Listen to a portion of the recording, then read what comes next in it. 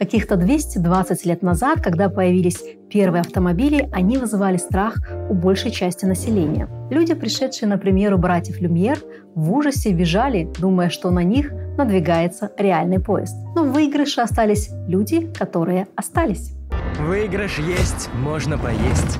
А что чувствуете вы сегодня, когда слышите словосочетание «метавселенная», «интернет вещей» или «индустрия 4.0»? Давайте вместе с вами поразмышляем о том, как нас изменила цифровая реальность и что нас ждет дальше.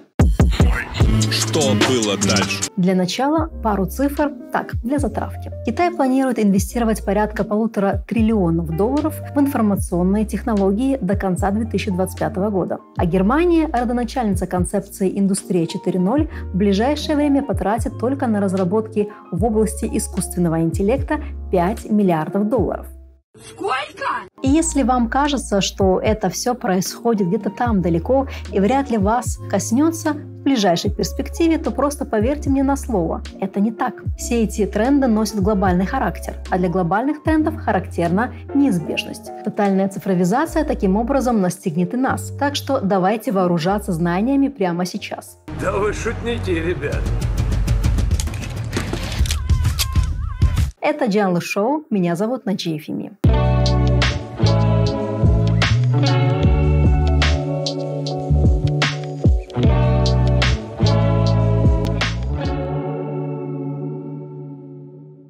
Если в советское время вам было достаточно того, что у вас есть куртка, то теперь вы хотите знать, что ни одно животное не пострадало при производстве этой ткани. Не использовался детский труд, не говоря уже о подлинности изделия. И вот, чтобы больше знать об изделии или товаре, начинает собираться все больше информации. Именно данные называют новой нефтью.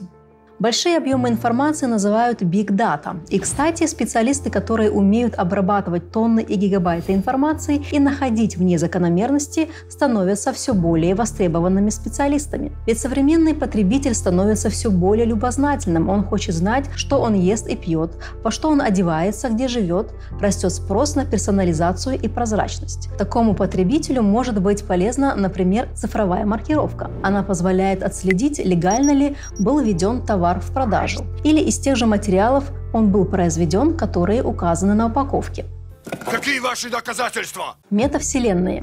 Это слово вас еще не заинтересовало? А напрасно. Метавселенная в представлении фантастов – это утопическая виртуальная вселенная, которая освобождена от культурных, социальных, экономических и политических проблем реальности, например, границ. Термин «метавселенная» придумал писатель-фантаст Нил Стивенсон аж в 1992 году в романе «Лавина», это было очень давно. Метавселенная по Стивенсону – это следующая стадия развития интернета. Общий цифровой мир, который объединяет физическую, дополненную и виртуальную реальности. Люди могут подключаться к ней в виде аватаров и делать все, что и в реальном мире. Искать информацию, общаться, ходить по магазинам, работать и развлекаться. Но при этом уйти от реальности и жить в виртуальной вселенной.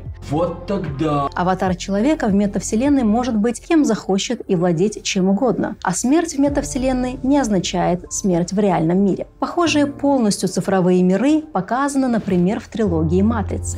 А теперь представьте, что это будущее уже наступило. Не может быть. Facebook в этом году официально переименовался в Мета. Главы крупнейших IT-компаний одновременно рассуждают о метавселенных и объявляют большие наборы сотрудников для их создания. Крупные бренды активно регистрируют свои компании в виртуальных мирах. Не поверите, но в метавселенных уже вовсю торгуют участками.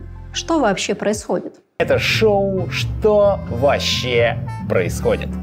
Поехали! Искусственный интеллект. Что это такое? Программы, которые могут самообучаться. Они уже широко применяются в самых разных областях. От человеческого интеллекта они отличаются своей узкой специализированностью. Голосовой помощник не обыграет вас в шахматы, а Google переводчик не диагностирует вам рак.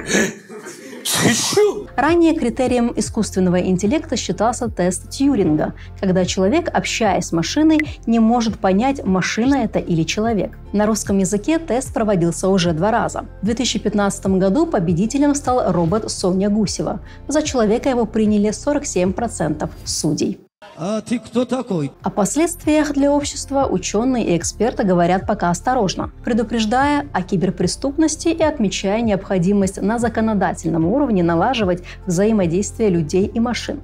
Так что, на когда там запланировано восстание машин? Минут 10-15, минут 5-10 пятого. Что вы знаете об интернете вещей? Уверена, что слышали, но еще не успели вникнуть. Интернет вещей объединяет устройства в компьютерную сеть и позволяет им собирать, анализировать и обрабатывать и передавать данные другим объектам. Интернет вещей у многих ассоциируется с умным домом. Благодаря технологиям и устройствам, разработанным компаниями Google, Яндекс, Amazon, Apple, пользователи могут совершать онлайн-покупки, регулировать температуру в комнате, включать свет и музыку, отдавая голосовые команды. Вам больше не надо опасаться, что вы забыли выключить утюг или кран. Достаточно нажать кнопку в смартфоне, и умный дом все исправит. А может и нажимать не надо, ведь дом настолько умный, что сам приведет все в порядок, а владельцу отправят уведомление по итогу. Система наблюдения с помощью компьютерного зрения распознает всех, кто проходит мимо вашего дома и сравнит изображение с базой полиции. Вы что, меня домой не пускаете? Настоящий прорыв интернет-вещей способен совершить в здравоохранении. Благодаря ему можно перейти на новый уровень диагностики заболеваний. Умные устройства контролируют показатели здоровья пациента в фоновом режиме и оперативно сообщают вашему доктору, если показатели меняются в худшую сторону. А как вам идея с умными теплицами? Вы всегда знаете, какие удобрения нужно добавить, сколько воды и как себя чувствуют ваши овощи. Мы вырастили самый большой лист щавеля. Помните? Основная проблема, с которой связано развитие интернета вещей – безопасность. Киберпреступники постоянно пытаются взламывать устройства удаленного наблюдения за пациентами, базы данных с информацией о здоровье людей, интеллектуальные системы управления автомобилем подгружают вирусы на взломанные устройства и даже совершают целые диверсии на производствах. Участникам рынка еще предстоит научить защищаться своей технологией от злоумышленников.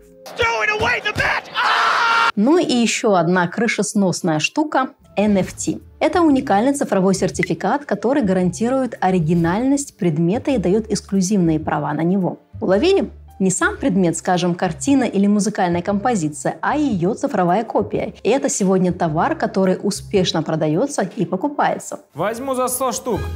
За 600 беру. За 700 тысяч. Певица Граймс, известная как мать ребенка Илона Маска, продала 400 NFT-токенов, привязанных к четырем рисункам, созданным лично ею и ее братом. Всего за 20 минут продажа NFT-токенов принесла Граймс 6 миллионов долларов. И это вполне реальных долларов, а не цифровых. Для творческих людей NFT – это способ монетизировать свои умения и расширить аудиторию. Ведь даже если копия продается, это каждый раз приносит дивиденды автору. Батьки гроші мені дають, а я не хочу брати.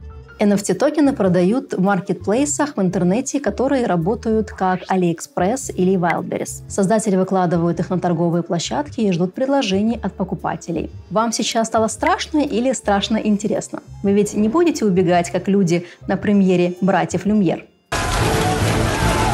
Пишите нам в комментариях, какие еще новые технологии уже ворвались в вашу жизнь и навсегда изменили ее. Это было Джанна Шоу. Всем хорошего вечера.